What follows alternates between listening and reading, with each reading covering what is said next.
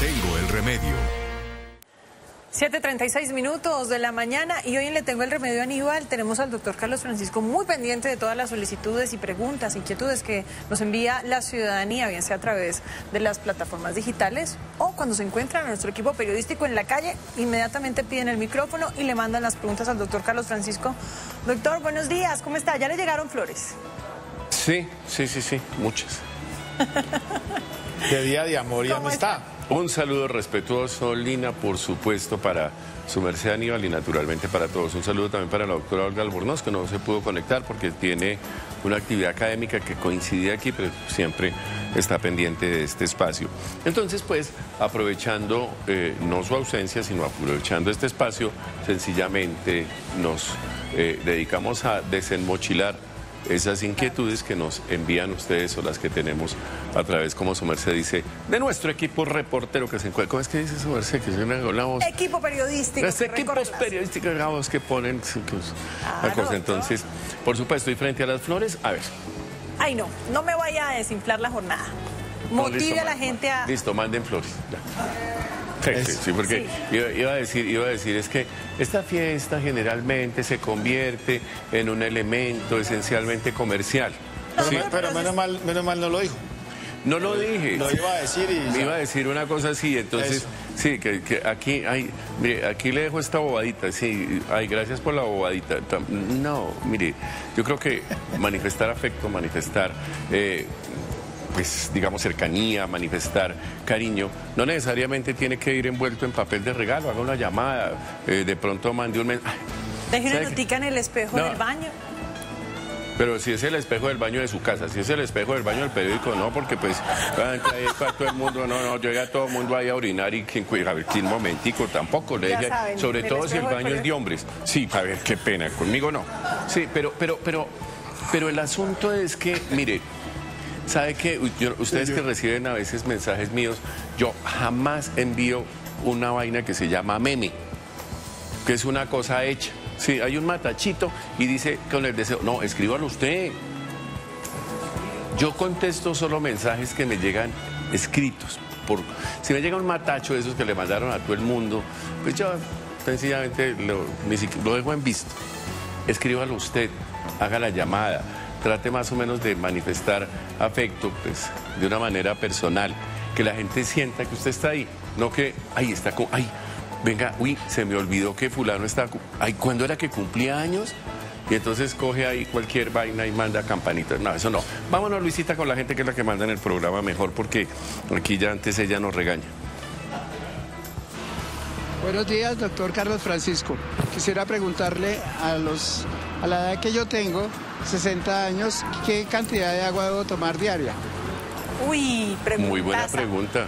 Eso está de moda, doctor. ¿No ha visto la cantidad de gente con unos termos así gigantes por todo lado? Sí. ¿Cuánta agua hay que, tomar? Parece que se fueran a hacer una ecografía. Usted ve que cuando le llega la ecografía, tome agua, entonces la señora... Es que está, la gente está con esa onda de la salud, de cuidar su cuerpo y también está un poquito de moda, ¿no? Sí, pero sin embargo vemos que muere más gente por sedentarismo en el mundo que por tabaquismo, por ejemplo. Entonces... ¿Cuántos vasos de agua, doctor? Mire, no son vasos, sencillamente usted tiene que sentirse hidratado. Más o menos la cantidad de agua que requiere el cuerpo para una persona adulta son dos litros. Pero no es que se siente usted a tomarse dos litros, a despacharse dos litros de agua, no, sino que eso va en el cafecito, en la sopa, en el agua aromática, por supuesto en los jugos, en todo. pero hay unas... No, a ver, Pinocho, que la cerveza... Pero no, no sirve, sí, una vez en cuando, ¿no? Hoy viernes, amor y amistad. Una. Pero la de litro. Doctor, estamos muy de viernes hoy. Doctor, una pregunta para entender. ¿Va a responder eso? A los 60 años una persona debe mantener un buen nivel de líquido y por supuesto un muy buen nivel, sí, de hidratación. Hay señales de deshidratación que desafortunadamente en los adultos se pierden. Entonces, pues claro, si uno tiene sed es porque le está faltando agua, pero generalmente en los adultos puede haber confusión, puede haber sensación de mareo, puede haber otro tipo, digamos, de respuestas del cuerpo a esa falta de agua, un desequilibrio hidroelectrolítico y naturalmente eso se puede cronificar. La gente se acostumbra a estar sin agua y por supuesto eso puede tener problemas. Entonces, le respondo, esté tomando, cada vez que pueda, tómese un vasito de agua. Es decir, y, y complete en su mente dos litros, pero tenga presente dos cosas. Primero, si usted está orinando poquito o si la orina está con... ¿La orina, ¿El color de la orina tiene que ver con el nivel de hidratación que tienen las personas? Por lo general sí, es decir, si el color, sí, sí es, pero no quiere decir eso, o sea, tampoco es que seamos tan literales, pero una orina poquita y muy concentrada habla pues que hay un déficit, pero oscura? concentrada es más oscura, pero no necesariamente porque puede haber algún problema en el riñón que hace que la gente orine más poco, es decir, digamos que es como una guía. Pero si usted normalmente orina, digamos, ¿cuántas veces orina usted al día, Aníbal? yo, no las, yo no las cuento, pero creo que varias. Pues no se ausenta en las cuatro horas del programa. ¿Y en los comerciales? Ah, no, si me lava la mano, claro. Siempre que lavarse las ¿Cuántas veces, verdad? Uno puede Uno tiene que ir al baño cada vez que necesite, o sea... Eso sí lo puede marcar en el espejo del baño. Claro, entonces, en el espejo del baño no rayen nada. Vea, espere que después lleva por otro... Nos no, no, no, no, no espere. Una cosa. Entonces, hidrátese bien y esencialmente mantenga usted una muy buena relación de su cuerpo con el agua. Es muy importante. Y termino acá. la hidratación es con agua. Ojo. O sea, no cuenta la sopita, ni el tinto, ni la cerveza. No, la hidratación cuando a uno le falta agua es con agua. Es decir, si yo siento que voy a tomar agua, pues uno se toma esto, no voy a medir aquí, me estoy tomando 20 centímetros de café. No, no, no. Pero si a usted le da sed o tiene después de hacer ejercicio o alguna cosa así, ganas de tomar agua, es agua, es agua. Los electros. que no, hombre. Nos preguntaron aquí que también no, que suero no. Nada, agua, agua, agua, agua. Es que la gente, uno los ve también con esas bebidas hidratantes y a no ser que se las prescriba el médico, yo creo que no es necesario. Y aparte de eso, pues gasta usted demasiado y lo único que necesita es agua limpia, agua limpia. ¿Listo? O sea que no es recomendable tomar suero si uno no está enfermo. No, yo no estoy diciendo que no es recomendable, estoy diciendo que es preferible tomar, agua. mejor dicho, que la recomendación nuestra es tomar agua. Punto. Pero hay gente que se toma un frasco de suero todos los días, ¿eso es bueno? Pues yo personalmente no lo haría. Ok. Tomo agua. Agua. Ahora, es que aquí uno dice, no, pues es que yo te... No, la recomendación. La recomendación es tomar agua, agua, agua. Y uno tiene, pues, a no ser que tenga algún déficit desde el punto de vista electrolítico, pues ya el médico le recomendará cuál es el suplemento que debe tomar. Pero es que hay bebidas que son hiperosmos. No, quiero hablar de eso.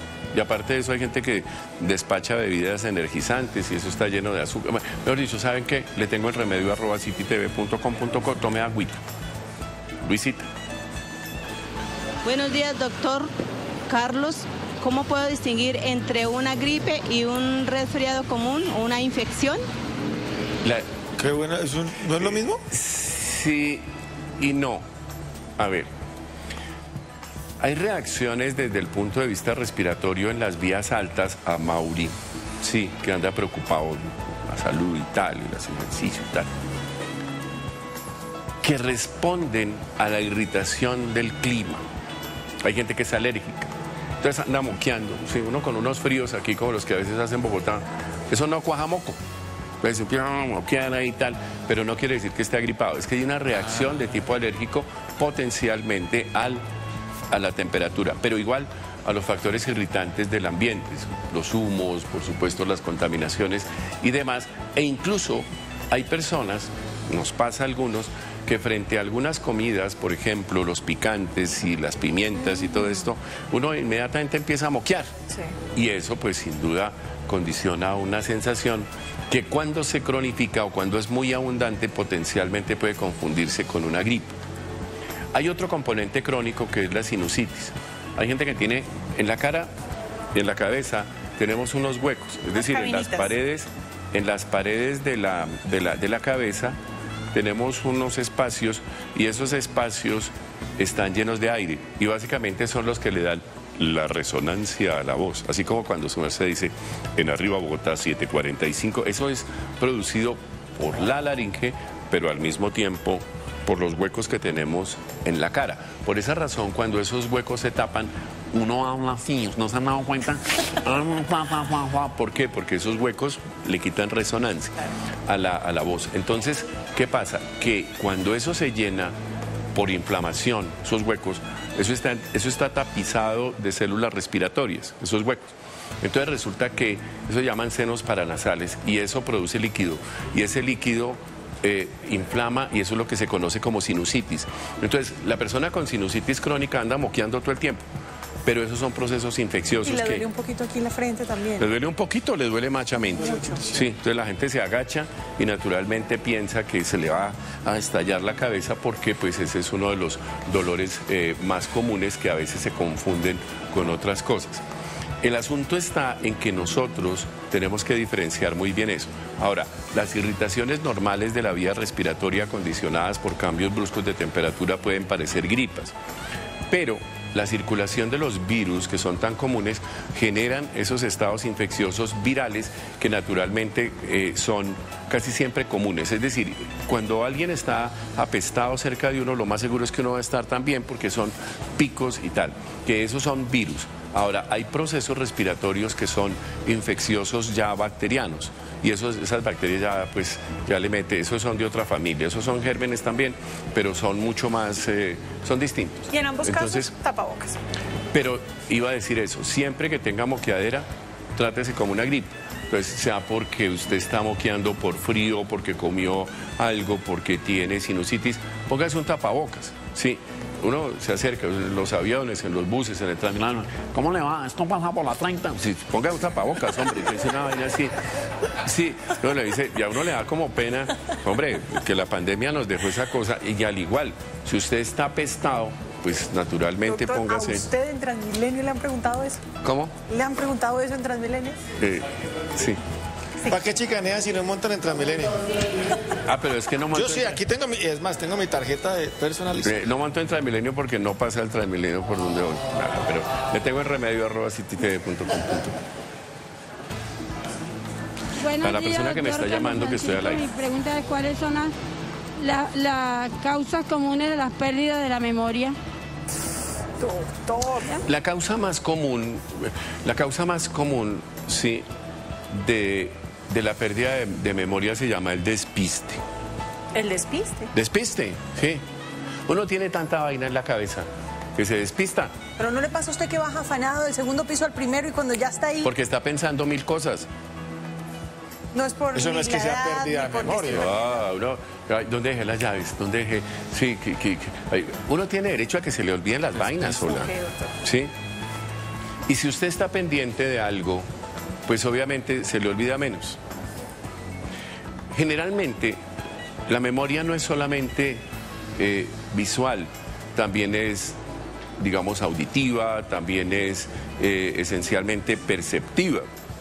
Entonces, ¿qué ocurre? Que cuando uno, por ejemplo, mire esto, si yo voy a dejar este, este estilógrafo, lo voy a dejar ahí y hago esto, pues lo dejé ahí. Pero generalmente, para que no se les pierda el celular, mírenlo, ¿dónde lo dejan? Cuando usted lo mira, Memoria fotográfica. no solamente tiene el asunto de la memoria, sino también tiene el componente táctil y espacial. ¿Dónde fue que lo vi? Lo tenía yo, yo me acuerdo que lo tenía en el set, allá debe estar. Pero si usted lo deja ahí a la, a la guachapanda, a la topa tolondra, lo más seguro es que se le olvide. Ahora, por ejemplo, que a uno se le olvidan, hoy en día, recordar un número de teléfono. Uno a veces le dice a Mauri, que es nuestro camarógrafo aquí en Fortacho, sí, que cuál es su número de teléfono y me dice, ay doctor, espere que es que yo como nunca me llamo. A ver, su teléfono por lo menos sépalo, sepa los teléfonos de las personas que tiene cercanos. O sea, un día le roban el teléfono, ay, ¿qué hago? Es que voy a comprar una llamada de... ¿A cuánto está la llamada? No sé, hoy en día. Un minuto. El minutico ya lo venden en la calle por ahí a 200 pesitos, parece. ¿No? ¿Ya subió? ¿A 300? Uy, ¿qué está pasando? doctor? Entonces, uno va a comprar una llamada, y pero, ay, venga, es que voy a llamar a, voy a llamar a la oficina, voy a llamar a, a mi hermana, voy a llamar a, a mi casa, pero es que cuál será el teléfono, porque no lo saben. ¿Por qué? Porque es despiste, porque no hay un componente de. La principal causa de pérdida de la memoria es el desvirole. Pero cuando sí toca de verdad ponerle cuidado. Ah, pues obvio, si a usted se le olvida el, el nombre de su mamá o el nombre de los hijos, sí. Ustedes nos han dado cuenta que hay señoras que dicen, eh, a ver, eh, Omar, a Mauri, ay, ay, el pequeñito, venga. Se- Ay, pero Sí, ¿cómo, cómo se llama? ¿Cómo? Eh, sí, es que aquí no podemos decir apodos porque Miguel. nos da pena, porque no sé qué. Pinocho, yo conozco a Pinocho hace más de 20 años y no, no le puede decir al aire Pinocho. No, no, sí, no, no, no. Da pena. Ni le vaya a decir, ¿no? Da pena, da pena, Ni porque pues, a él, decir, tiene, doctor. él tiene nombre, hoy en día sí Le sería bullying. radica un PQR. Hoy se sería bullying. Entonces, entonces la gente no se acuerda. ¿Por qué? Porque es desvirole. El desvirole. Entonces, por ejemplo, las personas le acaban de presentar a alguien y. ¿Cómo se llama el señor que lo presentó? Pasa mucho. Mucho gusto tal. Entonces, siempre hay trucos. Deberíamos un día hacer eso. Entonces, el truco. Ya, ya voy, Luisita. A Luisita no se le olvida nunca decirme El que tiempo. se acabó el tiempo. Uno saluda. Sí.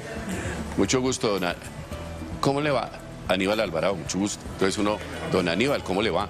Sí. Repetir el nombre de la persona. Claro, repito uno el nombre y lo mira a la cara, entonces tiene la memoria visual, la memoria auditiva y la memoria perceptiva. Yo le di la mano a ese man, a- ¿Cómo era Aníbal.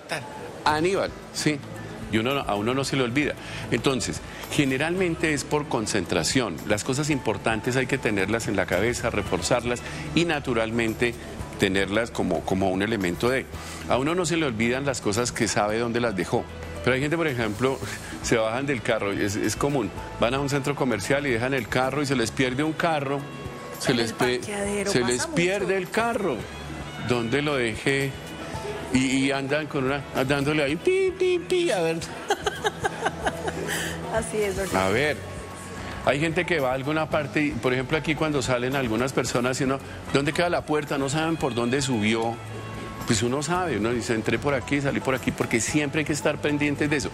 Si uno está pendiente de esa cosa, pues naturalmente no se le olvida. ¿La memoria se entrena, doctor? Aquí. Total, total, la memoria se entrena, eh, hay que leer, hay que hacer ejercicios, hay que procurar grabarse números, hacer mnemotecnias, como cuando uno estaba, como cuando uno estaba en el colegio, se aprendía las cosas haciendo siglas, uno tenía la memoria en qué parte de, la en qué parte de la, de la cartilla está, me están llamando del Ministerio de Salud, debe ser para algo.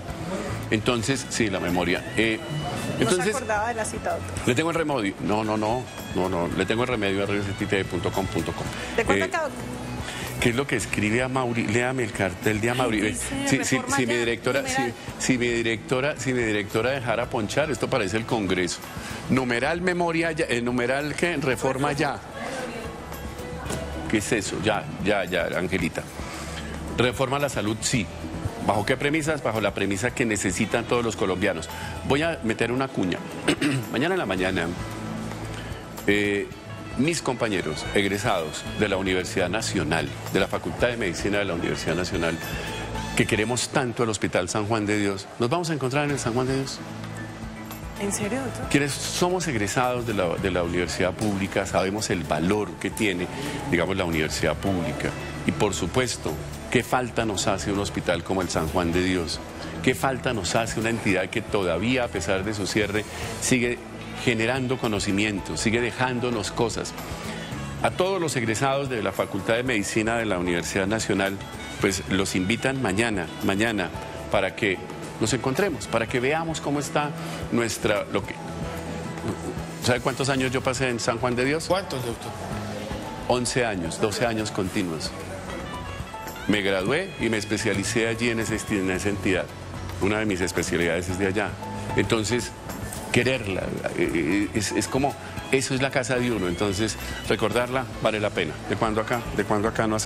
Suscríbase a nuestro canal de YouTube, active la campana y no se pierda las últimas noticias. Somos Canal City TV.